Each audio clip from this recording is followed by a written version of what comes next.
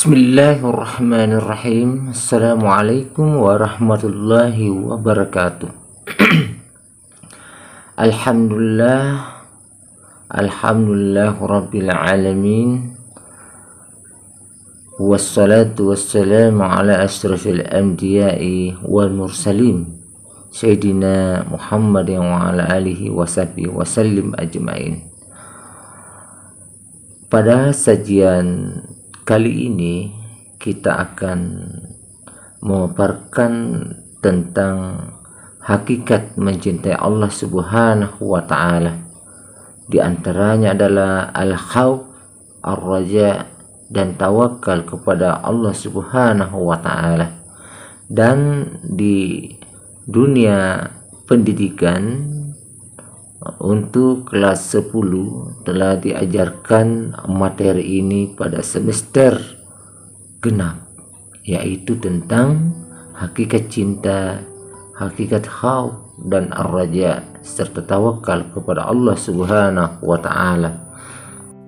Baik, langsung pada pokok materi yaitu ialah mengenai cinta. Cinta ini adalah perasaan yang suci dan lembut berupa rasa kasih sayang. Perasaan cinta ini ditandai dengan ada rasa rindu terhadap yang kita cintai. Dan tingkatan cinta tertinggi dan hakikat adalah cinta kepada Allah. Di atas cintanya kita kepada orang tua, kepada Nabi Allah, kepada orang yang kita sayangi dan terhadap diri sendiri. Cinta kepada Allah Subhanahu wa taala biasa disebut dengan mahabbatullah. Apa artinya? Menempatkan Allah Subhanahu wa taala dalam hati sanubari.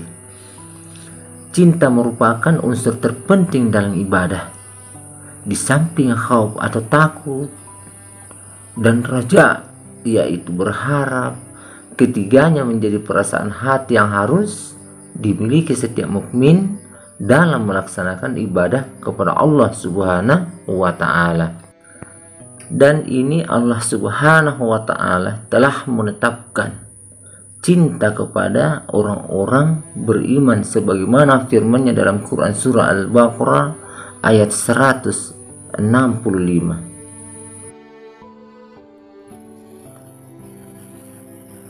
أعوذ بالله من الشيطان الرجيم.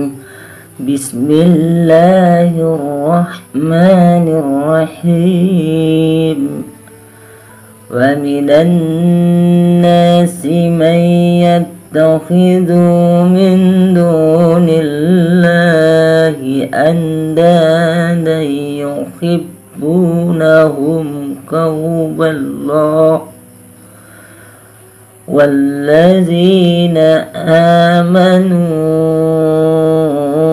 أشد حبا لله ولو يرى الذين ظلموا إذ يرون العذاب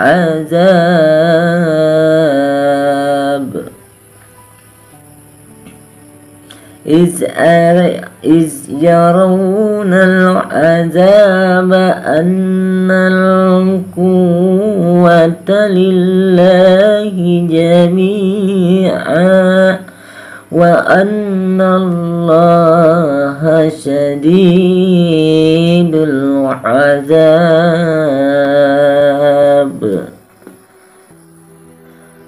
Artinya, dan di antara manusia ada orang-orang menyembah Tuhan selain Allah sebagai tandingan yang mereka cintai seperti mencintai Allah. Nauzubillahi zalik. Adapun orang-orang yang beriman sangat besar cintanya kepada Allah.